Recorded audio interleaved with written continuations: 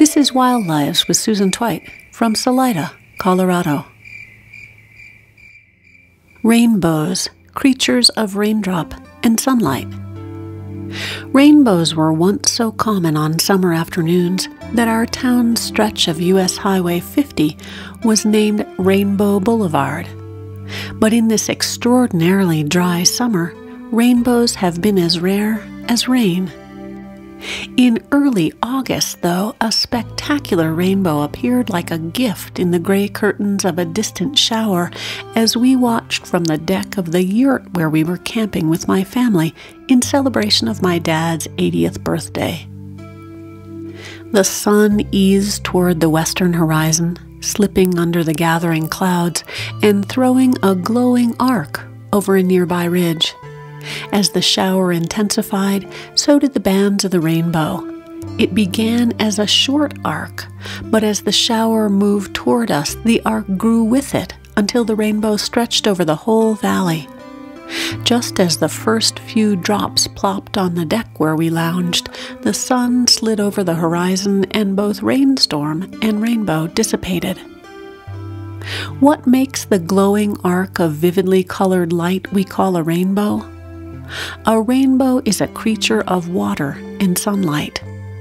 Water droplets act like prisms. When sunlight enters a droplet, the water splits the light into its component rays, which we see as the visible bands of colors from red to violet.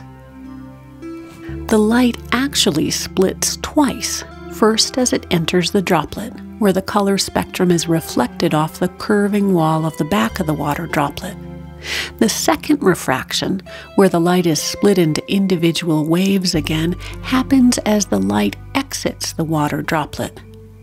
What makes that prismatic effect into a rainbow isn't just one water droplet, it takes lots of them, each refracting and reflecting the light.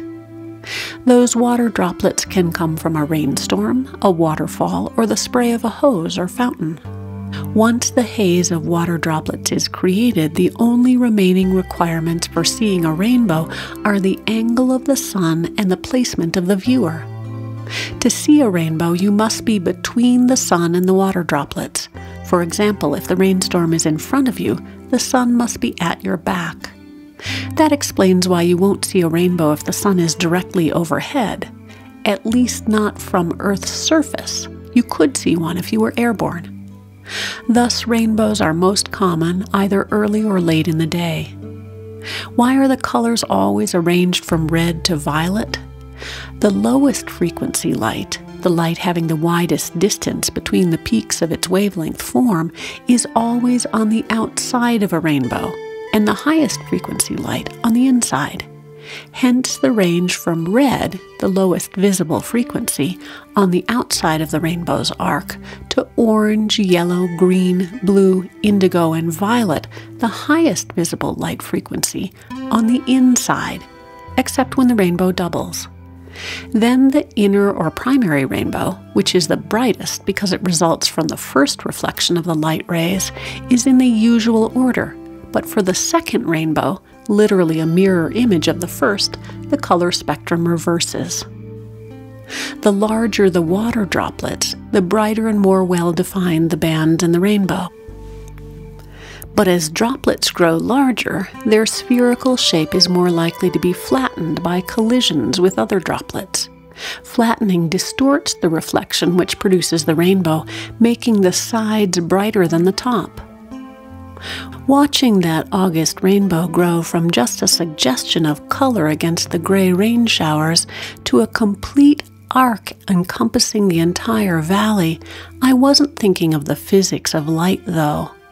All I knew was the miracle of rain lit by the setting sun as my family gathered to celebrate my dad's birthday. This is Wild Lives with Susan Tweit. Thanks for listening.